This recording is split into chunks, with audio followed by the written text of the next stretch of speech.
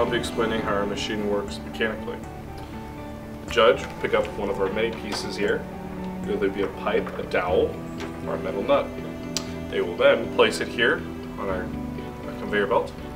conveyor belt will then move, moving the gyroscopic sensor here, telling us if it is the dowel, the nut, or the pipe. Then it'll move towards the color sensor, where it will tell us if it's green or red. Then, color sensor conveyor belt will push it onto our trolley here, where it will fall neatly into our base, and then it will move forwards and backwards according to what the machine tells it to do. The ultrasonic sensor here is one of the safety precautions. Um, if anybody gets too close to it, the whole thing will cease to work, stopping completely.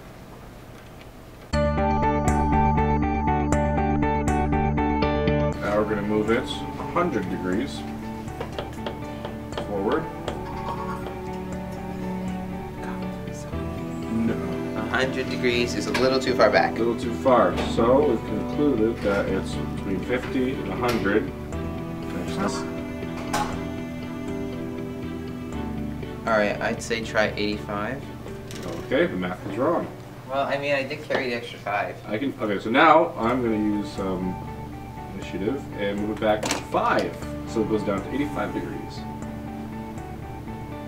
Um, my, my, my better judgment is telling you that the momentum it takes to overcome static friction is not going to yield the same result, but okay. We're just going to cut that whole part of the video. Unless he's right. Oh, I thought you were only going back five degrees. well, then we realized what happened to static friction. so you said 85? I almost put 150. Okay. Going forward six, everything in place.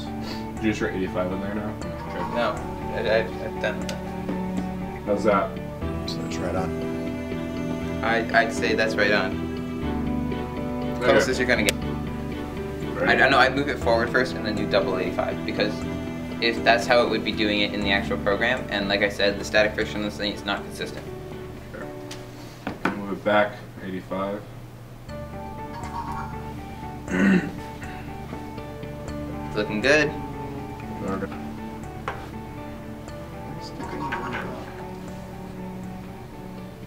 You got her, Otter. At 130? Yeah. Alright, so this is a breakdown of our robots program. It starts here and then we initialize our first variable to determine whether the color is green. It moves through uh, with an initial rotation to move up to our gyroscopic sensor, as Jacob explained. It resets the gyroscopic sensor to zero degrees, so there are no misconceptions on our math and logic later on. And then the splits going over to this line and it comes down we does some gyroscopic recording at the first angle, whatever the next angle is, and then it proceeds to our loop, which I'll describe later. And then it wait parallel to that, it waits five seconds and moves forward through the gyroscopic sensor, moving the blade as far as the respective block would go. That then continues to display whatever angle it records, waits for five seconds, and then checks to see if it is green or red, if it is green, it sets the display to green, tells us that it's green. If it's not, it sets the display to red and says red.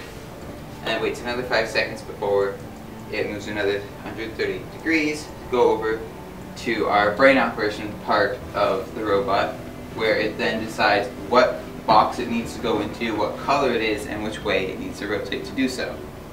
We have used an array here to hold the values on the degrees as well as which way our drop box needs to rotate to deliver the cube, cube, dowel, and the loop. This returns which type of block it is, being either a metal connector, a pipe, or the dowel, and each one has a respective degrees it needs to travel to get to its uh, box.